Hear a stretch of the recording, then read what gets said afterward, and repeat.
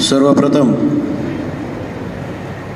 आज आपण या ठिकाणी भूम परंडावाशी पुणे रहिवाशी किंवा साधारणतः या उरळी कांचन असेल लोणी काळभोर असेल या भागामध्ये आमच्या गावाहून विस्थापित झालेले लोक जे प्रस्थापित झाले या लोकाचा मेळावा आमचे जीवाभावाचे आदरणीय चंद्रकांतजी सरडे यांनी आयोजित केला आहे आणि त्या मेळाव्याप्रसंगी आपण आज या सर्वप्रथम आपल्याला भूमपरांडा वाशी विधानसभेचे माजी आमदार आमचे परमस्नेही आदरणीय ज्ञानेश्वर तात्या पाटील यांचं दोन ऑक्टोबर दोन हजार चोवीस रोजी दुःखद निधन झालं.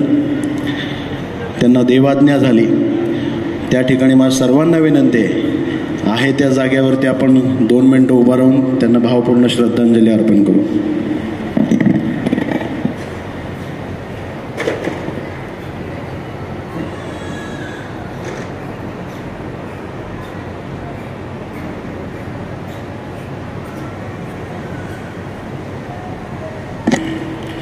आजच्या या मेळाव्याच्या प्रसंगी या कार्बन लॉन्समध्ये उपस्थित असणारे